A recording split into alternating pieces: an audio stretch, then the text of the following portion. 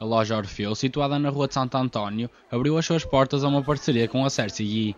A divulgação e comercialização dos produtos elaborados pelos alunos da instituição é um dos principais objetivos. Nós já tínhamos tentado abrir uma loja e abrimos mesmo uma loja a sério na Tulha. Eu digo a sério porque tínhamos a ideia, mas não tínhamos conseguido. E houve um ano que tivemos uma loja a nosso cargo um ano inteiro.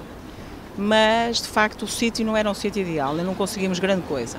Entretanto, íamos falando muito com o Sr. Arménio Sá e, e, às vezes manifestávamos vontade de ter uma loja. E o Sr. Arménio disse-nos, ah, deixa estar que a gente vai conseguir.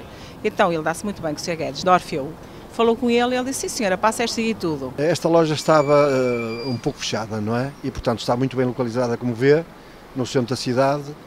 Uh, e, portanto, era necessário dinamizá-la, pô-la outra vez a funcionar. E por que não com a CERSIGI? A como sabe, é uma instituição sem fins lucrativos e precisava de um pequeno espaço eh, que pudesse eh, mostrar eh, todo o trabalho que é feito dentro da instituição por pessoas diferentes, mas que tem o seu valor, e essencialmente também colocar algumas coisas de Orfeu, porque a loja é de Orfeu e vai facultar o espaço para que a Cerce possa também comercializar aquilo que é produzido dentro das suas portas. Acho que associar dois grandes nomes, que no fundo Orfeu é um, acaba por ser um grande nome, já teve muita importância, e tem, não é? A CSGI tem e terá sempre, não é? Somos nós que damos um abraço aos jovens portadores de deficiência, por isso eu acho que sim, vai ser uma boa parceria.